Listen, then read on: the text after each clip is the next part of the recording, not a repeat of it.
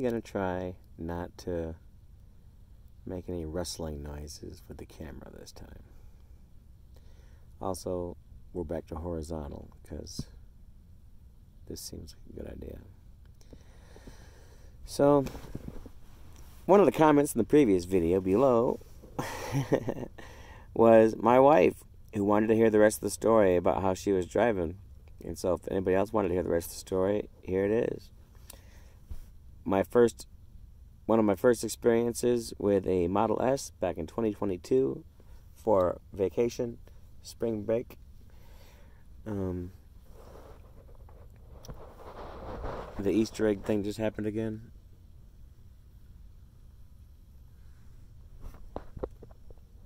Camp mode. And I got a bird flying around. Some crow keeps bothering me. There he is. Look at this piece of shit.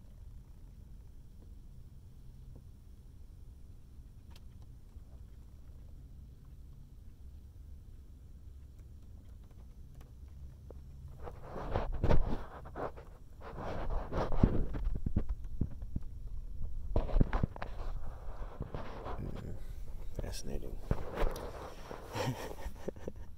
so, on a clear, sunny day, we are driving to Myrtle Beach from Michigan in a 2018 Model S that I had rented for about $1,500 for eight days.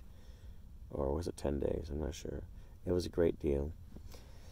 Um, but on autopilot, the, car's going to be pass, passing a uh, a truck, a semi truck. We were leaving Michigan. We were cruising around 80 and a 75, I think it was. I'm not sure, but um, whatever the truck did up front to like dodge a squirrel or whatever on the highway, the back of his truck kicked out, and it was it was coming right towards my face. I was in the passenger seat, and when I saw that whole trailer just jump over into our lane, I thought for sure, well, this is how our vacation ends right when we're getting started. But in that blink of an eye instant, the car detected collision was imminent and it took evasive action on its own. The car did it on its own. The car swerved away from the truck over the yellow line to go off the, to the left on the highway, to the left shoulder, and and braked perfectly hard enough to, while maintaining control. It then turned itself back and got back into the lane behind the truck, all on its own. Like my wife had her hands on the wheel because that's what we were supposed to do and we were learning the hard way right off the bat that if you mess up back in the olden days this is how it was um, back in 2022 before all these updates um, all you had to do was put your pinky on there.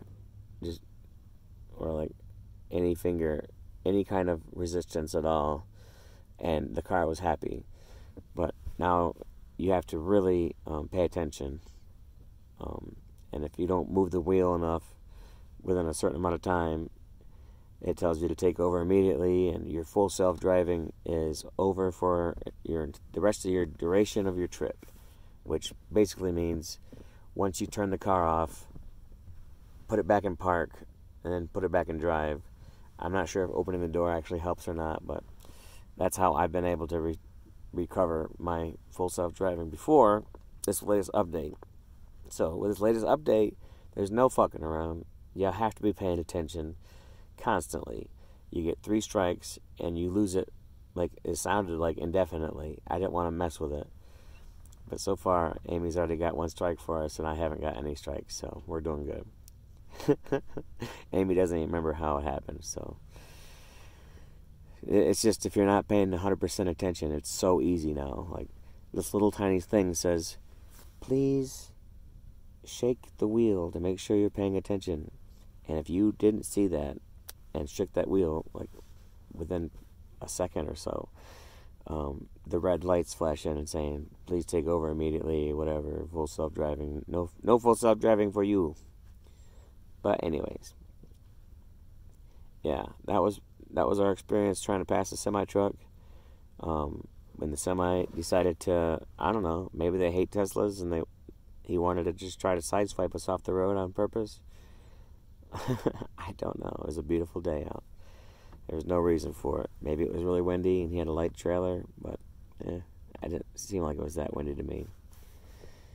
Um, the next big, like, important thing that blew my mind was when we were going through the mountains in Tennessee at night, and we were um, directed off of the main road to go up and over this mountain pass, and it was a winding mountain pass, back and forth switchbacks, um, the entire way up the mountain and down. There was no guardrails anywhere, and constantly dealing with if you go over that little white line, you got like a foot of dirt before, and it's sloping dirt before you're going over the hill. I mean, you're going off the mountain. You're gonna go flying, and the speed limit was 35 miles an hour, and Tesla was doing 35 perfectly fine, switching back, switching back, constantly hairpin turn, after hairpin turn, um, just handling it, and I was, I was terrified. This is my, still my first experience. The car did such a great job keeping us between the yellow line and the white line I I would have been going 25 miles an hour with white knuckles, scared to hell to death, at night, with wet roads. it was like raining out or something, but yeah, the car constant continues to impress. It never ceases to amaze me. And to top it all off with this car, you know, the one that I eventually bought um, in 2023 in April. Um, got into its first car accident, and it's. I I could have been a lot more injured. But if I was in a different car, I wouldn't have been able to stop, apparently, for the light, anyways. So, be careful if you're falling behind a Tesla. They have a really short stopping distance. Just saying. And uh, you run into the back of a Tesla, it's pretty much a miracle that this thing's not totaled. But for a little bit of bumper paint, and it's not going to be bumper paint and Bondo, it's going to be a whole new bumper with a whole new sensors probably. We're looking at about three to five thousand dollars worth of damage, when all you can see is a little scratch.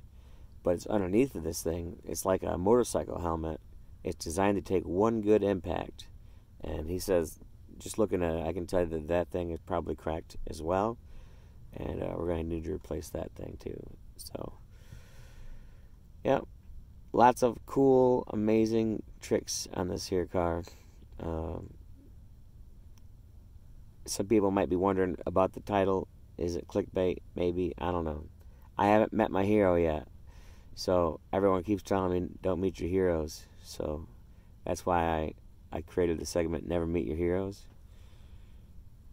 In a way, I feel like working at Tesla, everybody's my hero. Like like we're all awesome, extraordinary people doing things that normal people don't do. Like they don't leave their family to go work for a job that they don't have a house at yet. On the house front, we are making some progress. Um, hopefully, sometime soon we should be getting the uh, the land purchased, and from there we'll start working on the, uh, housing complex. And um, stay tuned for that. We're looking at Winnemucca now because Tesla will come and pick me up no matter where I'm at. It sounds like up to two hours. So, other than that, almost 10 minutes. I need to, to find a good spot to go shave. Maybe I will try to find a trucker's lounge. Nah. Think they'd get mad at me at Planet Fitness if I shaved in their sink. As long as I cleaned it up really good. I'm gonna keep this, of course. I do need to trim this. Okay, 10 minutes. let's see how scratchy and and annoying the mic was. Love you guys. Bye.